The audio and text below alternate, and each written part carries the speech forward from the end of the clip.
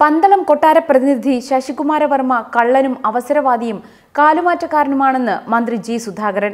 ശബരിമല തന്ത്രി അതിഭൗതികവാദിയാണെന്നുമാണ് മന്ത്രി ജി സുധാകരൻ പറഞ്ഞിരുന്നത്. അതുകൊണ്ടാണ് എന്ത് പ്രശ്നം വന്നാലും ജീവൻ കളഞ്ഞും അയ്യപ്പനെ സംരക്ഷിക്കും എന്ന് പറയേണ്ടതിനു പകരം അമ്പലം പൂട്ടി സ്ഥലം വിടുമെന്ന് പറഞ്ഞതെന്നും സുധാകരൻ പറഞ്ഞിരുന്നു. ഇങ്ങനെ മന്ത്രി കള്ളനെന്ന് വിളിച്ച പന്തളം രാജകൊട്ടാരത്തിന്റെ പ്രതിനിധിയെ ശബരിമലയിൽ തിരുവിതാംകൂർ ദേവസ്വം ബോർഡ് തന്നെ സ്വീകരിക്കേണ്ടി വരുന്നു. ശബരിമലയിലെ ആചാരമാണ് ദേവസ്വം ബോർഡ് ചെയ്യുന്നത്.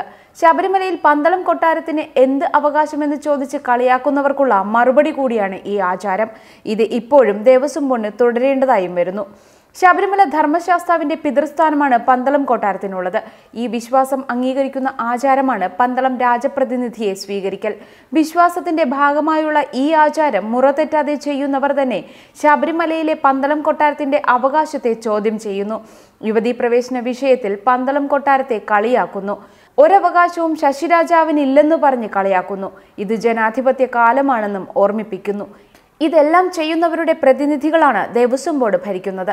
അപ്പോഴും ശബരിമലയിൽ പന്തളം കൊട്ടാര പ്രതിനിധിയുടെ കാൽ കഴുകി സ്വീകരിക്കേണ്ടിയും വരുന്നു ഇതിൽ നിന്ന് തന്നെ ശബരിമലയിൽ പന്തളം കൊട്ടാരത്തിനുള്ള അവകാശവും വ്യക്തമാണ്. ഈ തീർത്ഥാടന കാലത്തെ പ്രധാന ആചാരത്തിന്റെ ഭാഗമായി പന്തളം രാജപ്രതിനിധി പി. രാഘവ വർമ്മരാജ സന്നിധാനത്തെത്തി ദർശനം നടത്തി. ബുധനാഴ്ച വൈകുന്നേരം ശരംകുത്തിയിലെത്തിയ അദ്ദേഹത്തെ ദേവസ്വം പ്രതിനിധികൾ സ്വീകരിച്ചു.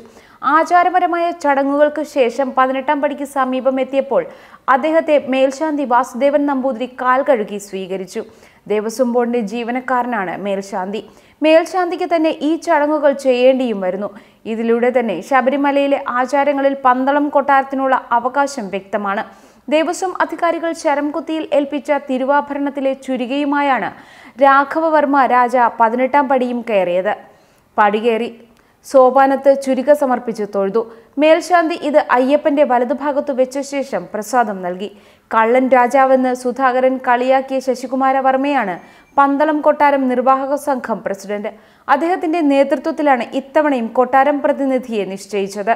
പരേതരായ മുണ്ടയ്ക്കൽ കൊട്ടാരത്തിൽ മംഗലത്തമ്പുരാട്ടിയുടെയും പനച്ചുകാട്ട് കിഴിപ്രം ഇല്ലത്ത് സി ഡി പുരുഷോത്തമൻ നമ്പൂതിരിയുടെ മകനാണ് രാഘവവർമ്മ രാജ വർഷങ്ങളായി രാജപ്രതിനിധികളോടൊപ്പം ശബരിമലയിലേക്ക് പോയിട്ടുണ്ട്.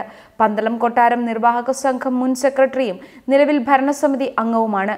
കേരള ക്ഷത്രിയ ക്ഷേമസഭ പന്തളം ശാഖ president palace welfare society secretary മഹാകവി പന്തളം കേരളവർമ്മ സ്മാരക ഗ്രന്ഥശാല ഭരണസമിതി അംഗം വലിയ കോയിക്കൽ ശ്രീ ധർമ്മശാസ്ത്ര ക്ഷേത്ര ഉപദേശക സമിതിയിൽ കൊട്ടാരം പ്രതിനിധി എന്നീ സ്ഥാനങ്ങളും വഹിക്കുന്നു. തിരുവാഭരണ പാത സംരക്ഷണ സമിതി ശബരിമല ആചാര സംരക്ഷണ സമിതി എന്നിവയുടെ പ്രവർത്തനങ്ങളിലും അദ്ദേഹം സജീവമാണ്.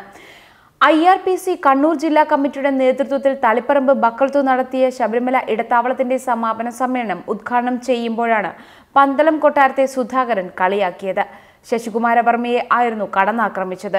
രാജപ്രതിനിധി എന്ന് അവകാശപ്പെടുന്ന ഇയാൾ പാർട്ടി അംഗവും എസ് എഫ് ഐ ഭാരവാഹിയുമായിരുന്നു. അങ്ങനെ ജോലിയും കിട്ടി. ഇപ്പോൾ കാലുമാറി കള്ളനും മോഷണ സ്വഭാവമുള്ള ആളാണ് ശശികുമാരവർമ്മ. അതുകൊണ്ടാണ് തിരുവാഭരണം തിരിച്ചു കിട്ടുമോ എന്ന് ചോദിക്കുന്നത്. നല്ല സാമ്പത്തികമാണ് തന്ത്രിക്ക് ലഭിക്കുന്നത്. അതുകൊണ്ടാണ് ശബരിമലയിൽ അള്ളിപ്പിടിച്ചിരിക്കുന്നതെന്ന് മന്ത്രി സുധാകരൻ ആരോപിച്ചിരുന്നു. ഇങ്ങനെ കള്ളനെന്ന് മന്ത്രി കളിയാക്കിയ കുടുംബാംഗത്തെയാണ് ഉപചാരപൂർവം ദേവസ്വം ബോർഡ് തന്നെ സ്വീകരിക്കുന്നത്.